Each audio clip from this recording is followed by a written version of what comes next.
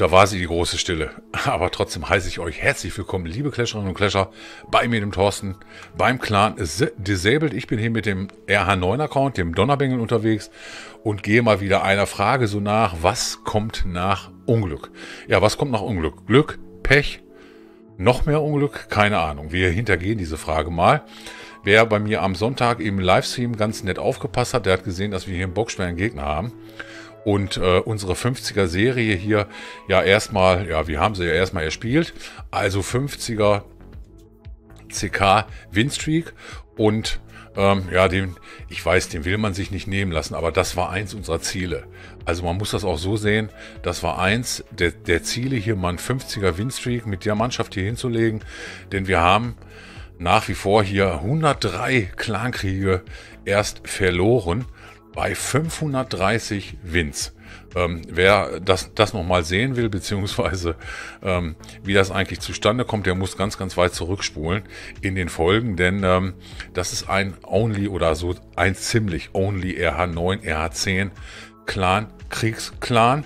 Äh, wir haben auch Elver und wir haben auch einen Zwölfer, also uns, unsere Zehner werden nat natürlich mit einer Karre bespendet, aber dennoch ist der große Teil hier oder einer der größten Teile hier ist halt Rathaus 9 und ähm, so müssen wir im Rathaus 9 und im Rathaus 10 Bereich, oh, was ein Pech, was ein Pech hier der Burns. Erst gehen die, ähm, ich sehe es gerade, erst, erst gehen die Walküren alle rein, dann laufen sie alle wieder raus, ja, dann werden sie abgelenkt, jetzt wollen sie wieder rein, jetzt wieder, jetzt doch nicht und ähm, ja, da muss man sehen, wie dann so ein Angriff hier ausgeht. Gerade im Rathaus 9 Bereich ist es dann in diesen Clankriegen hier in den letzten war es auch sehr, sehr schwer. Also ihr braucht nicht denken, 8 auf 14, das ist, ich gehe mal eben runter. Wir sprechen hier in der Regel von ähm, Maxed RH9 Bases mit ziemlich starken Helden, wenn nicht sogar 30er Helden, hier auch im unteren Bereich. Deswegen ist das egal, ob jemand bei uns ähm, 8 oder 4 runtergeht oder ob er dann 3 hochgeht. Er ist immer im gleichen Bereich, er ist immer in seiner Range, ähm, weil es halt sehr, sehr schwer geworden ist. Aber ich glaube, er hat hier richtig gut und extrem lange gewartet. Ich denke mal, es war so ein Falcon-Angriff, also mit den Valkyren, auch wenn sie außenrum rennen. Aber er hat das ganz gut gemacht hier mit Queen, mit dem, mit dem Bowlern. Ähm, King ist auch noch dabei und kann jetzt zwar nicht, nicht mehr ganz so viel ausrichten, aber bei diesen Angriffen hat man so ein bisschen die Hawks im Backhand hier. Aber gut gemacht hier. 8 auf 14. Und wie gesagt, das ist hier absolute Augenhöhe. Und auch meine Wenigkeit hat sich ähm, mal etwas anderes, ja, was heißt etwas anderes ausgedacht? Nein, habe ich gar nicht. Aber ich habe tatsächlich mal in meinem zweiten Angriff, der erste war leider auf die 15, nur ein, äh, nur, nur ein Zwei-Sterner, ähm, habe ich doch mal zu dieser Kombi gegriffen. Auch wenn hier Minenwerfer außen stehen, ist das, ist das für äh, zu heilende Hexen, beziehungsweise für Hexen, die in Heilungen sind, äh, jetzt nicht ganz so schlimm. Sobald der erstmal weg ist, ähm, ja, geht mein Golem so ein bisschen quer. Ich weiß, ich weiß, der Golem ist ein bisschen quer gelaufen, aber ich habe es mal ein bisschen abgewartet. Mal sehen, was noch kommt. Habe ich habe ich, ich, ich muss es echt mal so sagen, ich habe es selber zu mir gesagt, zwei Sprung, zwei Wut, habe ich äh, dieses Mal gewählt, keinen einzigen, ah doch, ich hatte ein paar Mauerbrecher, aber die sind ja gefailt, äh, dann wäre ich vielleicht ein bisschen schon mal ein Apartment mehr hier oder Compartment in diese, in diese Base reingekommen und äh, verliere jetzt auch schon ganz schön viele Truppen, muss ich sagen. Hier rechts geht gar nichts. Ja, also hier auf der rechten Seite haben mich alle Truppen verlassen. Das, was ich jetzt habe, ist in der Mitte ein King, der sich nicht entscheiden kann. Rechts, links, Sprung. Was machen wir? Und aber außen eine ganze Menge Hexen ähm, und in der Mitte eine ganze Menge Heiler. Ja, ich habe, ich hatte die Hoffnung, eigentlich hatte ich die Hoffnung hier schon aufgegeben, vor allen Dingen, als ich hier hinten dann auf dem rechten Eck die Tesla-Farm sah. Also es war schon so ein bisschen für mich so, ah, Toto, jetzt hast du nur noch die Queen, die du zünden kannst, mehr nicht, aber da ist noch so viel Defense. Ähm, und die müssen auch noch immer noch die, durch diese Mauern. Also dann, dann guckst du irgendwann, guckst du dann nicht mehr unbedingt auf deine Truppen. Okay, auf meine Queen habe ich natürlich immer ein bisschen geachtet äh, dass ich sie auf jeden Fall nicht vergesse zu zünden. Aber ich habe dann schon gedacht, das, das muss einfach jetzt nur mit dieser Mauernfresserei, da muss das eigentlich passen. Ich meine, ich habe viele Skelette am Start gehabt, die jetzt ja keinen Beschuss mehr erstmal ausgesetzt sind. Und ähm, war dann am Ende eigentlich war am Ende dann doch glücklich, dass ich diese Base hier, ich konnte die Queen, ihr seht das selber, wie spät ich sie denn doch gezündet habe, ähm, doch geschafft hat mit der Kombination, mit der ich eigentlich überhaupt nichts kann. Ähm, ja, Mut zur Lücke muss man auch mal in einigen CKs haben.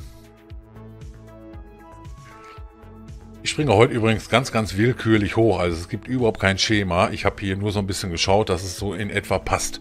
Also 9 auf 9, 10 äh, auf 9, 9 auf 10. 10 auf 9 nicht, doch 9 auf 10. 9 auf 10 dann schon eher. Und ähm, mal sehen, was sich der ähm, Arnos hier ausgedacht hat. Okay, also Troll-Tesla erstmal auf den Ecken weggemacht und komplett ohne Heiler hier mit, mit den Hexen also auch. Die Kombi ist natürlich beliebt, keine Frage. Ähm, nur die, die Golems müssen, die Golems müssen aber tanken. Die Golems müssen tanken. Äh, die müssen halt das, das gesamte Feuer erstmal auf sich ziehen. Mauerbrecher gehen hier beim Arno schon ein bisschen besser durch.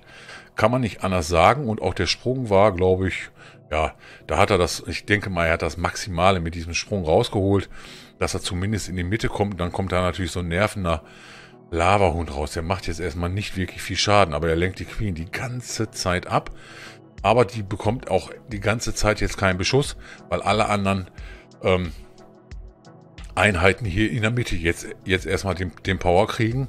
Und ähm, die Golems sind jetzt zwar ein bisschen behende, er hat jetzt auch keinen Sprung mehr, auch die müssen sich jetzt durch diese Mauern ballern.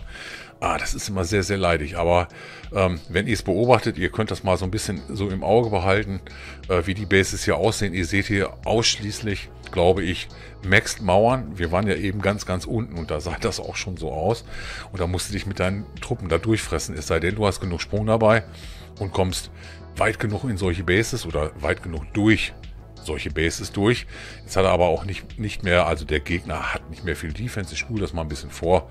Das mache ich auch eher selten. Ich lasse immer, immer ganz gerne auslaufen, weil auch jeder ähm, von hier, weiß ich nicht, möchte vielleicht mal seinen Angriff sehen oder ähm, hat ihn nochmal Revue passieren lassen. Okay, da hinten ist noch ein Troll-Tesla in der Ecke hier.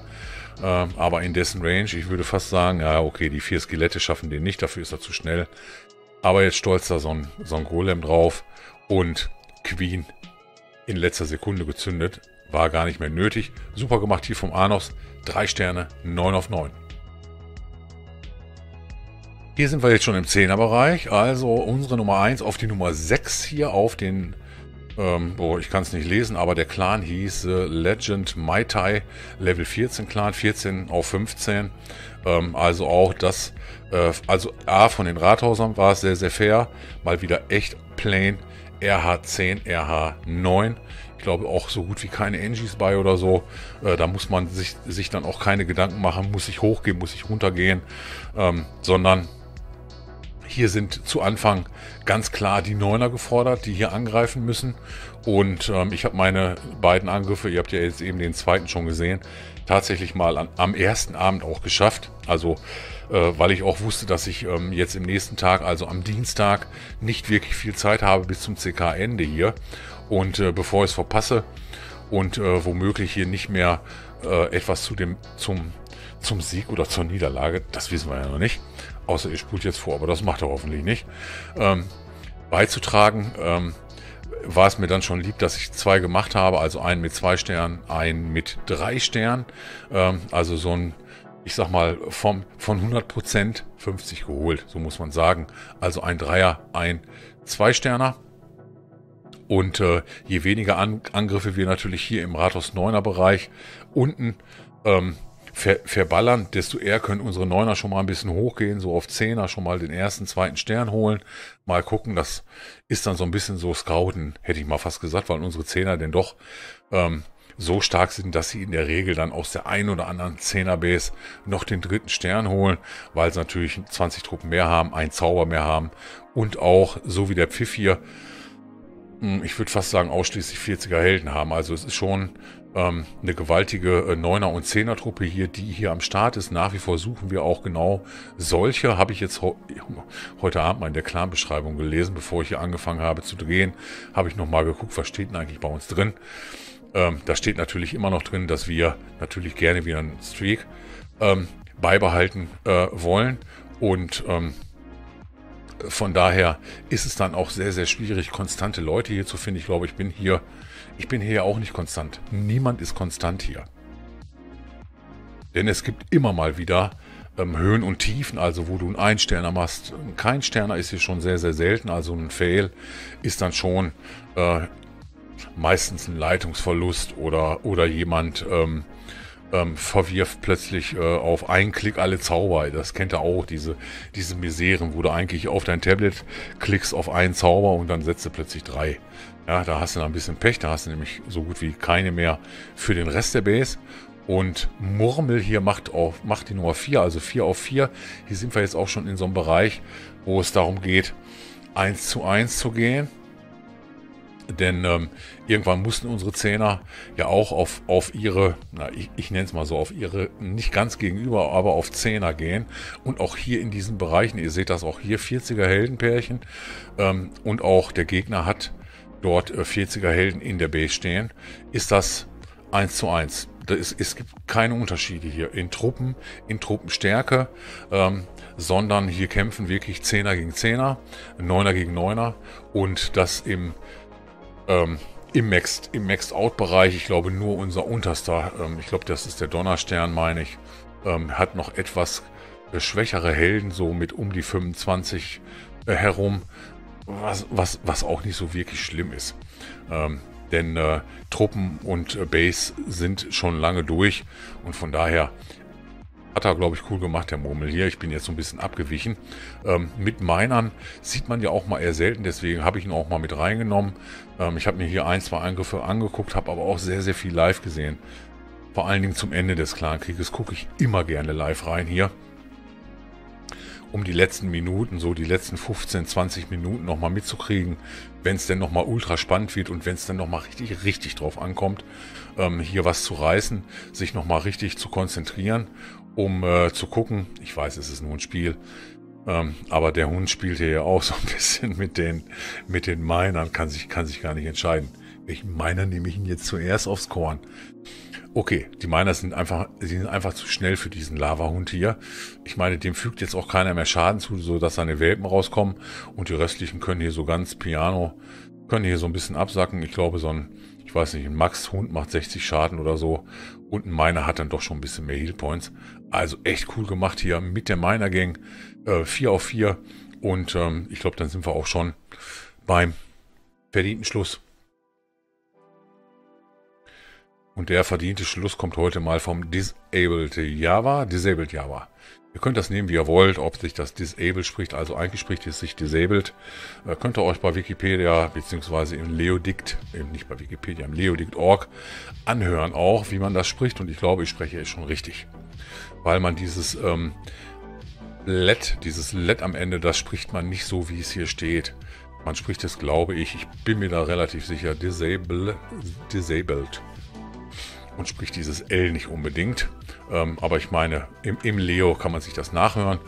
Und ähm, auch hier, ähm, ich habe nicht übertrieben, 40-40, also Heldenpärchen, Maxed Out Base, Maxed Out, ähm, Truppen an der Stelle, Bowler-Hexen-Kombi diesmal, also mal ein bisschen mehr Bowler, etwas weniger Hexen, ähm, um durch diese ähm, Anti-3-Sterne-Bases zu kommen. So sind sie ja. Und ah, eigentlich hatte ich an dieser Stelle gesagt, Alter, der Inferno, der wird noch ganz böse, aber der fällt erstmal. Das ist ja nicht schlecht. Ähm, jetzt steht hier hinten allerdings noch was, nämlich eine Luftabwehr. Das ist natürlich nicht so gut, da müssen die Truppen nochmal hin und das kostet ja immer Zeit. Ja, die Zeit ist einem hier bei Clash of Clans auch immer in den Nacken. Drei Minuten dauert ein Angriff, 30 Sekunden hast du nochmal vorher, um inne zu gehen. Also für die, die das jetzt nicht so wissen oder mich vielleicht zum ersten Mal gucken, so läuft das hier bei Clash of Clans. Ich habe im Livestream mit, mitbekommen, dass ich ähm, so den einen oder anderen Zuschauer dabei hatte, der wirklich nichts von diesem Spiel kannte und der stellt natürlich Fragen, äh, die ihm dann natürlich auch sauer beantwortet werden. Ähm, das heißt also, er hat natürlich gefragt, äh, was, was, was bedeutet dies, was bedeutet das. Äh, völlig in Ordnung. Ähm, wer hier als Einsteiger reinkommt, der ist hier, glaube ich, ja, ich will nicht sagen überfordert, aber wenn man dann so ein bisschen tiefer in Clash of Clans einsteigen will, dann ähm, muss man auch einfach ein bisschen länger spielen. Es kommt, es kommt auch nicht von heute auf morgen. Und ähm, Die Queen ist hier nicht mehr zündbar. Wir haben hier noch zwei Defense-Gebäude, die jetzt noch gleich sicherlich erstmal auf die Barbaren gehen, denn die überholen die Queen hier erstmal so ein bisschen. Und ähm, das heißt also, die brauchen natürlich in der Regel fast, fast nur einen Schuss von der Kanone. Dann sind die hin. Das seht ihr hier auch an diesen kleinen Skeletten. Die bleiben dann auch immer als Leichen beim Farmen liegen. Und ähm, Jetzt äh, sind sie aber nur noch Sekunden. Ihr seht das hier, die Zeit läuft, die Zeit läuft hier runter, aber ich glaube, die Queen. Die Queen hätte es doch nicht mehr ganz geschafft. 95% vom Disabled Java. Und ähm, wir können ja trotzdem mal reingehen. In das Ergebnis hier. 43, 43. Also ich bin auch ganz nervös hier. Ich zitter die ganze Zeit mit dem Bein, weil das war so geil hier heute Abend. Und ich habe es den Leuten hier versprochen, da muss ich einfach was draus machen. Denn es ist ja so geil und spannend gewesen. Und auch das Ergebnis. 99 Prozent. Und ich habe euch das gesagt. Ähm, ich weiß nicht, was nach Unglück kommt. Glück, Pech, noch mehr Glück. Keine Ahnung. Hier kam irgendwo wie so ein bisschen, so ein bisschen alles zusammen. Und ähm, es ist, es ist sehr, sehr schade. Wir haben zwar unsere Serie jetzt gelassen, aber weil wir haben verloren. Wir hatten einen 50er Strike, wir haben jetzt einen Unentschieden da drin. Das heißt, unser Strike ist leider auf Null. Dennoch haben wir keinen roten Eintrag im Kriegslog. Das habe ich heute Abend extra nochmal gesagt. Ich habe auch gefragt, ob jemand irgendwie jetzt down ist oder ob es jetzt die ganze Truppe nach unten zieht, dass wir jetzt ein Unentschieden dazwischen haben. Ihr seht das immer noch 103 Loses erst, 530 Wins. Ähm, nein, es hat keinen nach unten gezogen. Es kann nur bergauf gehen. Und äh, wir trauen uns auch in den 90k mal mit einem Elver. Wir hatten, ich glaube, wir hatten 50 CKs, kein Rathaus 11 dabei. Heute haben wir mal wieder den Kamil dabei. Ich freue mich auch, dass er dabei ist und ähm, anhand des Matchmakings sieht man so ein bisschen die Stärke auch unserer ganzen, unserer ganzen Bases. Der Krieg, der Krieg ist gut auf Augenhöhe. Der Gegner hat zwar diesen Zwölfer hier, der wird uns da oben total niedermähen, denke ich mal so. Ich weiß nicht, vielleicht macht das auch nicht. Aber der Rest ist wieder absolut identisch und anhand dessen, des Matchmakings sieht man auch, dass wir schon starke Bases haben, starke Truppen haben stark eingeschätzt werden. Das zählt ja, glaube ich, nicht ins Gewicht. Aber dennoch ähm, passt das hier wieder 15 auf 12. Also Weapon X wird schon wieder eine harte Nummer werden. Ich wünsche in jedem Fall, dass wir unseren nächsten 50er Streak hier wieder aufholen. Kein Thema, wir haben ja Spaß an der Sache. Keiner hat hier seinen Mut verloren. Es war nur ein Unentschieden, keine Niederlage. Super gemacht hier, The Disabled. Äh, ich wünsche euch noch viel Freude in Clash of Clans. Ich wünsche euch einen schönen Mittwoch, denn ich nehme ja am Dienstag auf, also ihr habt einen Feiertag, ich habe einen halben Feiertag, ich muss nämlich halb, tatsächlich muss halb arbeiten. Das ist der Hammer, aber macht nichts, ich wollte das trotzdem zu Papier bringen hier. Ich hoffe, wir sehen uns in dieser Woche noch ein bisschen öfter. Bis dahin, euer Toto. Clasht.